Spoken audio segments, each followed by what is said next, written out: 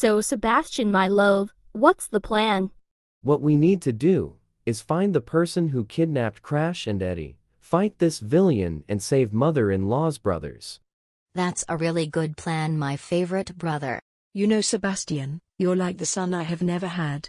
Sebastian, I see Ellie really cares for you. Alright, let's do this.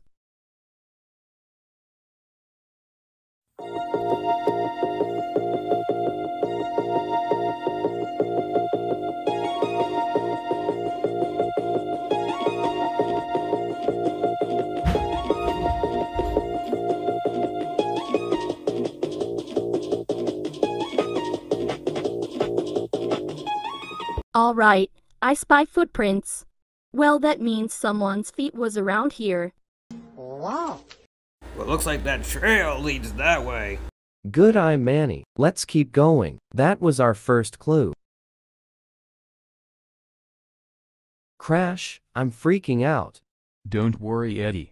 I'm sure our sister Ellie will find us soon. But I don't know who kidnapped us. I did fools. Oh, Oh, no. no.